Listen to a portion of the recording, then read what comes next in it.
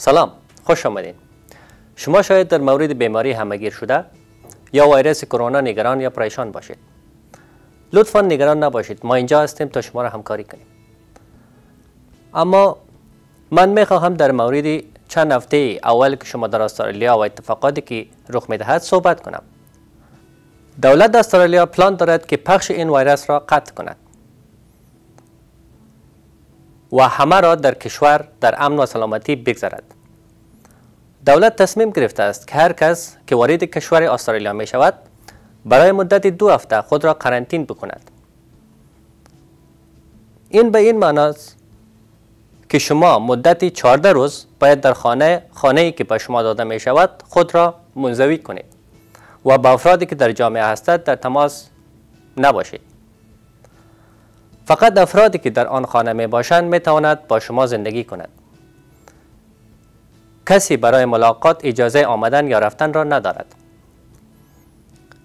اگر در این مدت 14 روز شما یکی از علائم زیل را در خود دیده یا احساس می کنید حتما با کس منیجر خود زنگ بزنید تا, تا دکتر را ببینید.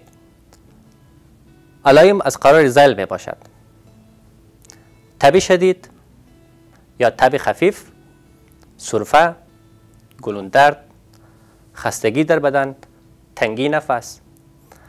اگر شما باغچه یا حیات در خانه دارید می توانید اینجا بروید.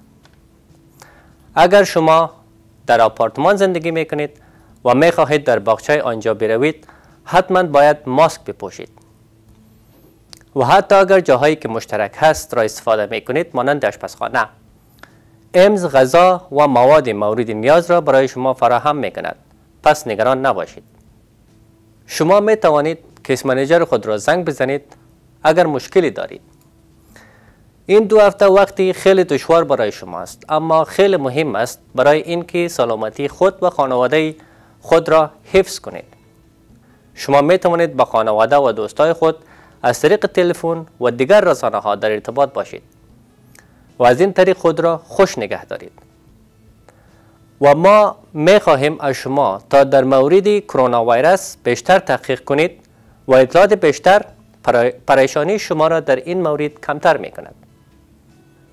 شما نگران نباشید. هر کسی که با استرالیا داخل می شود باید برای مدت دو هفته منزوی شود. برای سلامتی خود و دیگران.